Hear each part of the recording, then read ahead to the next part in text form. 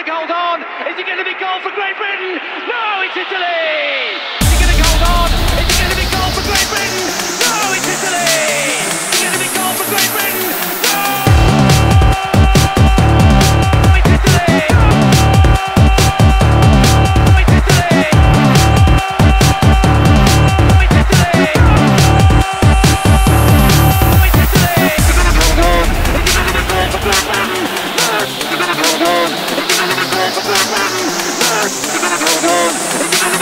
Thank you.